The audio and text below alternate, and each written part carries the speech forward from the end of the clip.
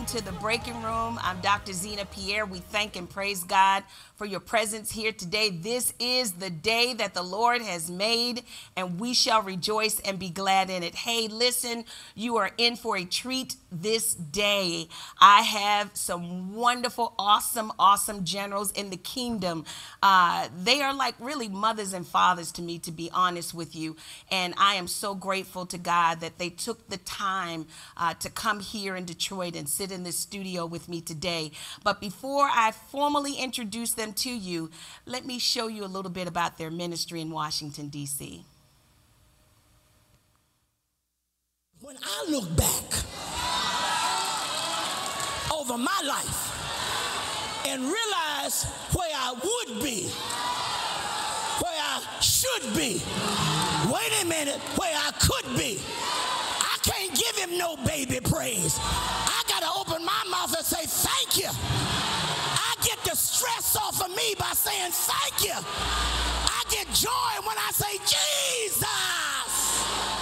He's able to do exceedingly, abundantly, above all. He's able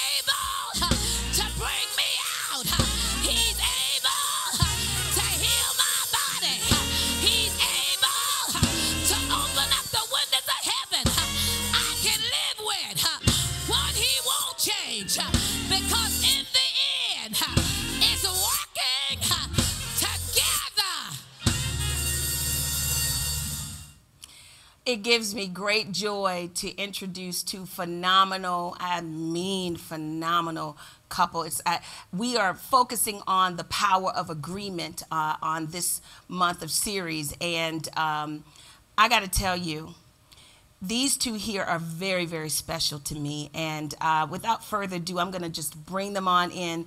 Archbishop, God bless you, man of God, Archbishop Alfred Owens and uh, Dr. Susie Owens from Washington, D.C., from Greater Mount Calvary Holy Church. And you are also presiding prelate over uh, Mount Calvary Holy Churches of America. Right, right. And so that's a lot to be doing, and you're doing it well, and you've been doing it for so long. And so, welcome to the Word Network and to the Breaking Room. Um, just so excited to have you here. Well, we're excited to be with you. Yes, sir. we've been we've been friends for years, and Yes, sir. we consider you one of our daughters in the faith. Hallelujah. And for extending us this invitation just to share with you. Um, I've been in ministry now going on 52 years, Wow. pastoring the same church. Wow. And uh, I just turned uh, 71. So I'm excited for how the Lord has blessed us. And uh, Hallelujah. co pastor Susie has been my mainstay in ministry. And I thank God that we're able to share with you together. We just celebrated 45 years of marriage. Wow. So the Lord's been extremely good to us. So you've been in ministry almost as long as you've been married, or married as long as you've been in ministry. Right. I pastored six years before we got married. I didn't know her. And um, she was in Boston, and I found her. You know, the Bible says, He who findeth a wife uh, finds a good thing. Yes, and sir. she's been my good thing for 45 years. We give the Lord praise. Oh, yeah, amen. Doctor, co-pastor, Susie Owens, you've been on the in the trenches and certainly has you've been a trailblazer for so many of us that are coming up now. Uh, I was watching uh, some video of you on YouTube, both of you, and I tell you, it, you have always been consistently consistent Wow. and and that is such a blessing to see in the kingdom in times like these that you know that you have a consistently consistent voice that's out there telling a dying world that you can do this that god is able that uh, no matter what you're going through the lord will bring you out of it you just got to hold fast and know that god is able and so you too have exemplified that over the years 45 years in marriage Yeah. It's been a wonderful journey. Praise God. Um, and I've always believed that the Lord wants us to be not only consistent, but persistent. yes So that He can preserve us. So being steadfast and working for the Lord and working in ministry is something that we love. We love it. Praise God. And you know, you've got to have a love for it to stay in it because uh, it can be tough being in the church world of, of pastoring. Folk can be a little different. And uh, you've got to have that. Uh, um, assignment that you know is really on your life to stick and stay that thing. And we've seen ministries, you know, come and go as a result of you go in and it's not what you thought it was going to be, and folk end up pulling out. But you two have been in this thing for over 50 years. Yeah, it's it's amazing when you look back and think of where you started and fa- how far the Lord has brought you. Yes, Lord. And um, in our years of ministry, we recognize that the enemy comes to steal, kill, and destroy Yes, ministry, the pastorate, and mainly the marriage. Mm-hmm. And uh, if you keep that foremost, we, we made up in our minds years ago divorce was not an option. Amen. Maybe murder, Murder.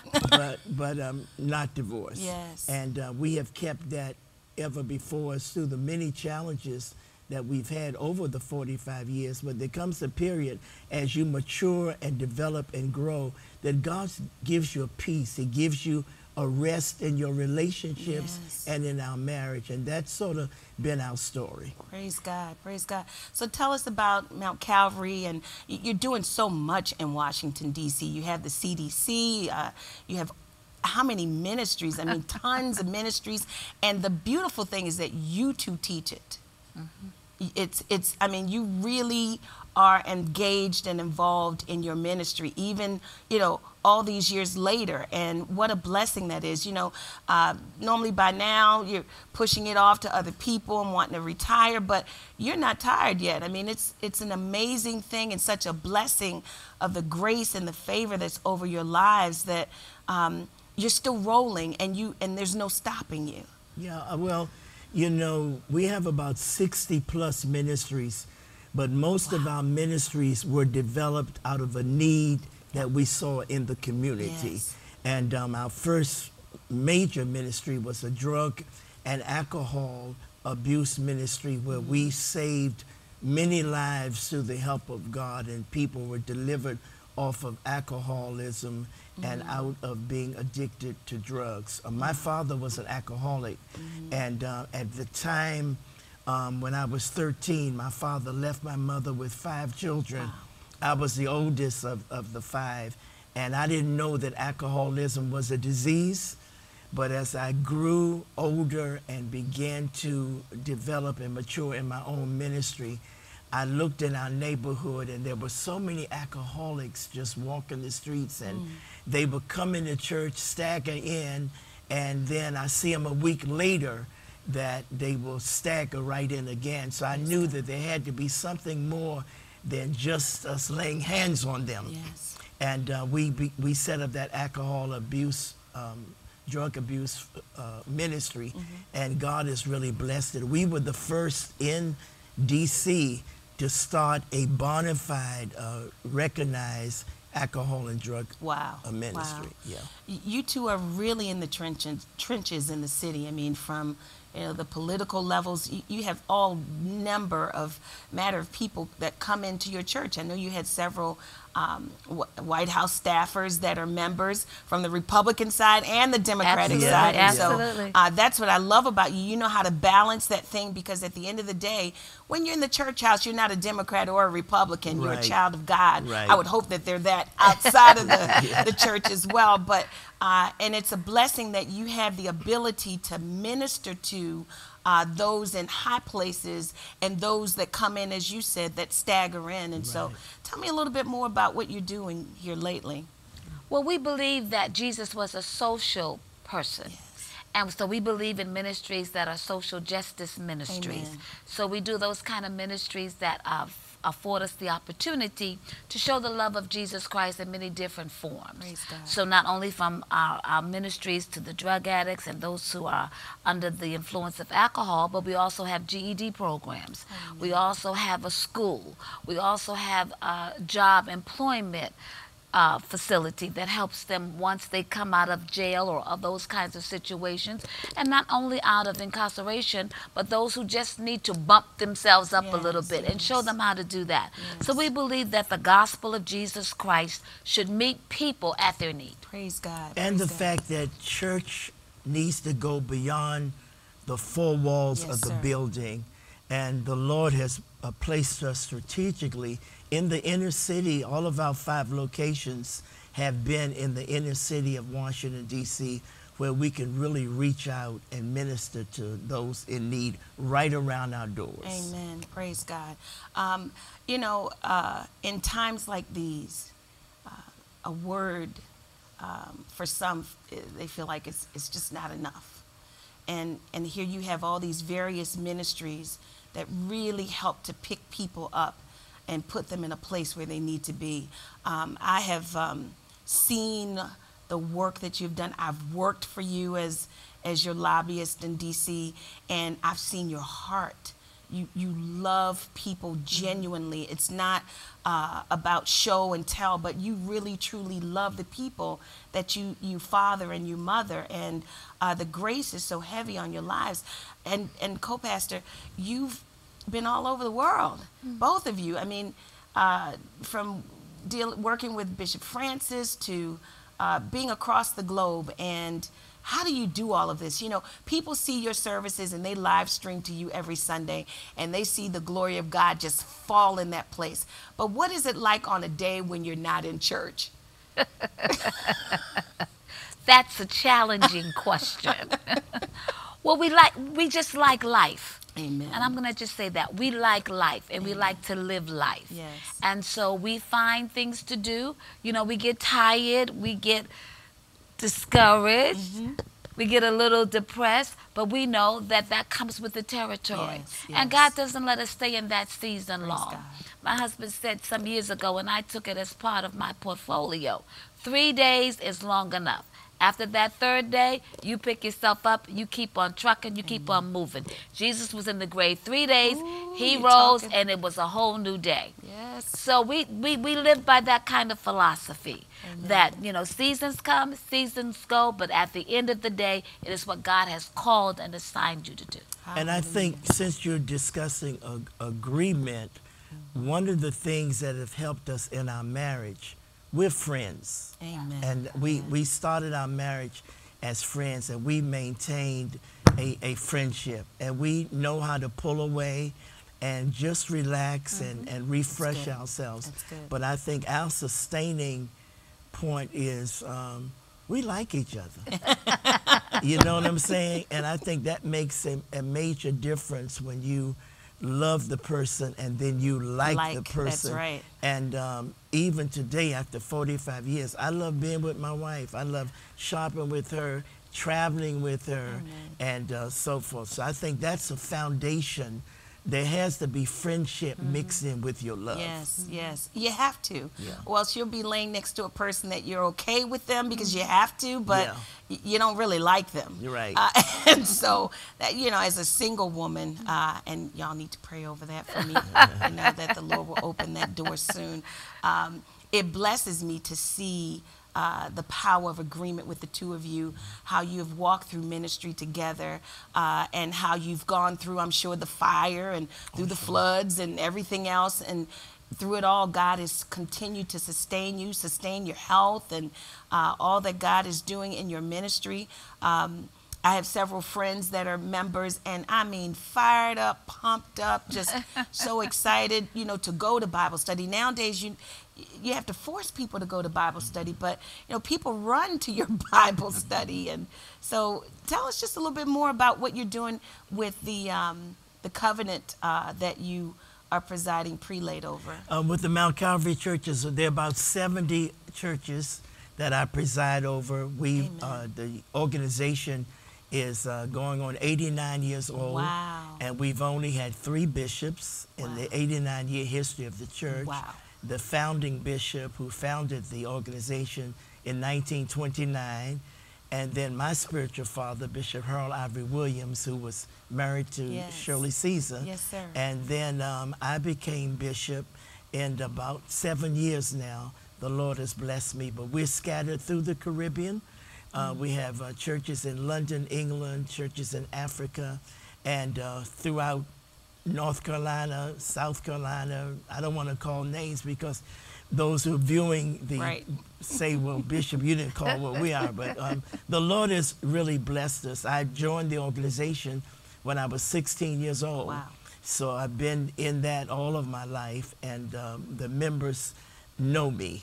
I've been to every church in the organization. I have a good relationship with all the pastors, and uh, it's been great. I think one of our greatest works for the organization is that we partnered with World Vision, Oh, and we've been the, the last hurricanes that have come through. We have had a major uh, play in Mm-hmm. helping them get back together. Amen. So we, we have a viewing audience that is listening to what they're hearing today and seeing uh, visually the power of agreement uh, through such a powerful couple here. Uh, but there may be a first lady that's saying, you know what, this is a hard road to carry. I would love for you to look in that camera and minister to her heart right now. I would be delighted.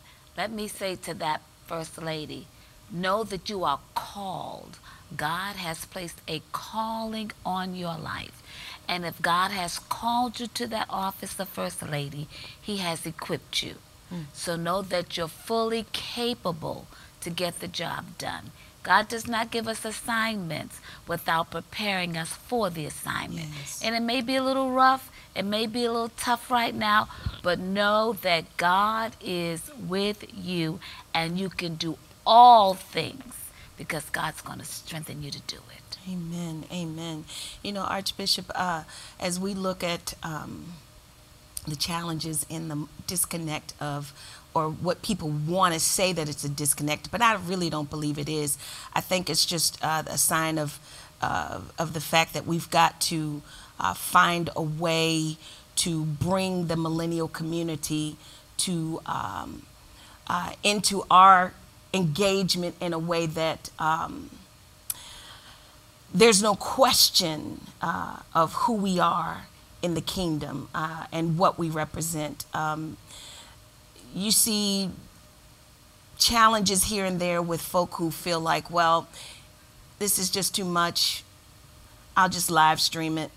I don't want to go in the sanctuary. It's just too much. It's easier for me to just sit home and watch it on my phone or my computer. What would you say to uh, a community of people who, you know, feel like, well, I don't need to do all of that? Uh, I think it's a sign of the times. I don't know how much we could change that. Yes. I do know that in Matthew 24 and other places in the Bible, Jesus points out these things that would be signs of his return. Yes.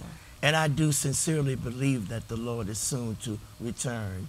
Um, with, with respect to the millennials, what we have done at Calvary is try to include them on our teams Yes, uh, because they do have value that's right. in this day. They know what's going on, they know what's happening, and we have sought to connect the millennials to our seniors, our traditionalists, our boomers That's like me, wonderful. And s- try to have a team ministry mm-hmm. that includes them. And I think once you include the millennials right. on some of the decision making and accept their ideas while you eat the fish and spit out the bones, because everybody is important to the kingdom. That's right. The you know we we love the fact that we have a great streaming audience at, Mm-hmm. at Calvary, but everybody knows there's nothing like Yes. being in that sanctuary. yes, there's something yes. that you get in the house of the Lord that you really don't get laying in bed watching what's going on. That's right. Uh, but we have to. M- My bottom line, you have to go with the times. Exactly. And the Bible tells us to forget not the assembling Yes. of ourselves together. Mm-hmm. So if we're going to do the Bible, we got to do the whole Bible. Yes, so we ought to come together and we ought to present ourselves as a body, worship together, pray together, sing together. And you can't do that if you're not there. So we always want to that. We go to work, we go to the grocery store, we go to theater, we go to movies. So let's go to church. Amen. Amen. You're so on point with that because you know I um, I have um, a virtual um, prayer call, and uh, on the prayer call we have done revivals. Literally, I've had like a week of different preachers that preach on the phone as if they are in a pulpit. Wow. Bishop David Evans. I've had Jamal Bryant, and others. Um, that have ministered to people over the phone. But I also recognize that you've got to assemble the people together. And so each year, you know, in August, I do uh, my conference at the Gaylord in uh, Maryland, and people come from all over the country. And one of the things that I've recognized when I started doing these Friday night services, and people were coming from as far as Texas, Michigan, New York, New Jersey, Philadelphia, just for a Friday night Wow. service. It, it, it told me that people are hungry mm-hmm. Yes. And they're hungry for the real. Yes. They're hungry for an experience. They're, they they want to get in the presence of God and see the manifestation of a shift, a change. Uh, and it's time out for saying, you know, oh, he'll make a way. No, I want to see the way. Right. And I think that's where the disconnect that people um, would try to pull the millennials and push them out to the side and say, oh, well, they're so into seeing that they don't want to believe. But there's, you, you, you got to have both because uh, in order to draw people, they've got to see something. They've got to see Well, something. you've been an example of that, you, and not just in the D.C. area, but one of the best examples that I know is Dr. Zina Pierre, who reaches out to everybody. Absolutely. you, You're not a selfish person uh, at all. As I said at the beginning of the program, I know your work, and um, you know how to mix the political with the spiritual, with the religious, with the education. You just you're just a good package, and uh, you are an example of what you're preaching. Thank so you. I'm not surprised at all that people are drawn to you um, when you they hear your name. Excellent reputation. Amen. You're not a messy person. Well, we give the Lord praise. We got enough of that going around, right? Right, right, and, and and that that's what I can say about the two of you. You know, uh, uh, you have this. You're like magnets for people to be drawn to you. There's an anointing that's so thick on you that it's like, and, and the light that shines. Uh, and so, you know, I always say that bugs are drawn to the light. Right, right. you know, you see the because you have the little zapper and the bugs are drawn to it. And it's the same way in ministry. When you are the light, you're going to get everything drawn to you. Yes. Some good, some bad, Yes. and and you just stand on the promises of God and do what you do. And um, I'm just grateful to be connected to you. I, I really am. And um, it, whatever you want to say right now to really minister to the hearts of the people in these last few minutes, I just uh, would love for you to pour into the people of God. There are couples out there that are in ministry, uh, and you know sometimes that thing gets really competitive. Uh, and but you two are a prime example that there's no competition in the kingdom. I think um, what I'd like to say most to your uh, television audience is that the Lord gave me a revelation a couple of years ago when he was dealing with Peter, and he said to Peter, Satan has desired to have you and to sift you as wheat, but I prayed for you. And we missed the part where Jesus said, I prayed that your faith Absolutely. Doesn't Lord. fail you. Yes. And what the enemy is after today is our faith. Yes, sir. Mm-hmm. Many in the last days shall depart from the faith. Mm-hmm. If you can keep the faith, God will strengthen you and help you to make it. Yes, then not only is the enemy after your faith, if you can't get your faith, the next thing he wants is your focus. Mm-hmm. It depends heavily on what you're looking at. I will lift up mine eyes unto the hills from whence cometh my help, Right, because my help comes from the Lord. So he wants your faith, he wants your focus, and then he wants your footing. Mm-hmm. David said, My foot almost slipped. Mm-hmm. And every time you feel like you're slipping and going to get out of the faith and can't find your focus, you got to make sure you do as the old folks did and say, Father, I stretch my hands to Yes, thee. Yes, and as I stretch my hands to thee, you will not suffer Yes, sir. that my foot be moved. Hmm. Because the bottom line is if the enemy can get your faith and your focus and your footing where you stand, he'll take your future. Sir. Right. And the enemy knows we have a future that God says, I know the thoughts and the plans Yes, I yes. have for you. And God said, His thoughts are not of evil, but they are of good. And the devil wants to steal your eyes have not seen, Yes. and your ears have not heard, and it hasn't even entered into your hearts what God has in store for you. Remember that. Hold on to your faith. Hold on to your focus. Hold on to your footing, and God will ensure your future. Absolutely. Hallelujah. Yes. I don't even, look, he got me so I don't even know how much time I got left. But I, I can say this I have um, co pastor and uh, Archbishop. I am just so eternally grateful. And you've got to come back. Let's just put it out here now. Back. Amen. I didn't hear you say yes. Yes. We're in the power of agreement here. Yes, right. Yes, we'll be back. But if you want to follow them, uh, you can you can find them on Facebook. You can find them on Twitter. You can find them on Instagram at Bishop Owens uh, on Twitter and at co-pastor Susie O on Twitter. And then on Facebook, it's co-pastor Susie Owens.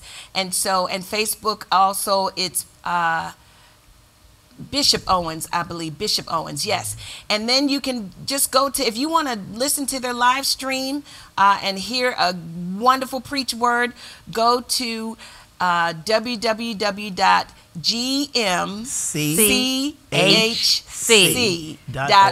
gmchc.org. And of course, you can always find me at thebreakingroom.com. If you want prayer, you can contact us at 240 245 7421. I want you to wrap this up, co pastor, in a word of prayer for the people. Sure. Uh, as we have been facing so many uh, challenges with flooding across the country and in the Caribbean, uh, people need to hear a word of prayer. Let's pray. Father, we thank you for your loving kindnesses, Lord. for your tender mercies. We're so very grateful for how you have kept us and brought us safely thus far. Now, Father, we present ourselves to you anew and afresh, and we Lord. declare and decree that the best is yet to Yes, come. Lord. We do not understand all of your ways, but we do have confidence that in God we do trust. We pray for those people who are under very heavy devastation. We know that some way, somehow, you're going to fix it. Mm. You have the ability, you have the ability to fix it. So, Father, we place our sisters and brothers Yes, and those flooded areas, we put them in your hand. Meet the need like you did with the 5,000 on the hillside. Take the fishes and the biscuits and let it be more than enough. We place this world in your hands. You created the worlds and they that dwell therein. So bless us, cause us to be a blessing, save, deliver, set free in Jesus' name. Jesus' we'll be careful to give your name the glory, the honor, and the praise. In Jesus' name we pray. Amen. Amen. Amen. Thank you again. Thank you. I look forward to you coming back soon. All right, we'll see you on next week. Uh, and listen, if you want to be a partner of this ministry, please go to www.thebreakingroom.com, hit the donate button, and uh, we just thank you for your seed. It takes seed to grow a ministry. So bless you. Mwah.